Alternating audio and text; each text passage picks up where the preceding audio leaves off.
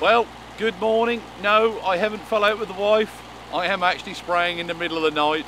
Um, why you may ask? Well, um, as I said earlier on in the DVD, um, the the the seed dressing that we normally have on oilseed rape called neonicotinoids um, have been a temporary ban for two years. This is our first season that we've got to try and cope growing oilseed rape without this seed dressing. Um, what the seed dressing basically does is protect you for about six to eight weeks um, against the damage of flea, flea beetle. The flea beetle symptoms, as I said perhaps before when we were in this field, shot holing, shot holing in the leaf. Um, I've had two attempts at trying to control them, very, very unsuccessful. Um, and I could kept walking the fields during the day and can't see anything, can't see anything. Anyway, um, I um, I saw on Twitter the other night um, a chap on there said something about you will only find the flea beetles um, at night time. It's when they feed. So um, I done a bit of investigation and um, lo and behold, I think he was probably right.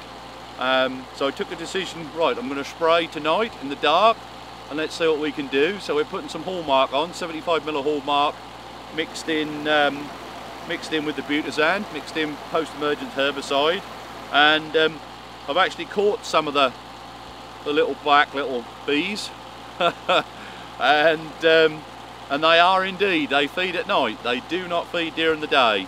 So thank you to the chap whoever told me that. That's a brilliant lesson learned, that really is. So I had a quick nap this afternoon, um, had a bit of tea, and then started spraying about nine o'clock as it got, got dark. Um, so I'm hoping this will really knock them on the head. Don't know whether I'll have to do it again or not, um, but certainly I'm hoping I'm going to reduce the numbers drastically with a bit of luck. Um, certainly the worst of the damage that I've got here is really on the clay soils. On the bottom of the field here where there's a bit of meadowland and on the slightly kinder soil at the top, the damage is not as bad. Um, so I suspect at the moment, uh, I think it's probably reduced the population by approximately 50% on the heavy land at the moment. But I drilled six kilos, so I'm, I'm still left with three, which will be enough at the moment.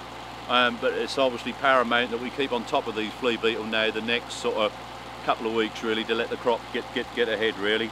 Um, so I expect that's going to be five or six o'clock in the morning time I get time I get finished. But um, I'm hoping to come here in the morning and find some flea beetle with their legs up in the air. That's what I'm hoping. Um, so give it a few hours and we'll uh, we'll see whether I'm right or not.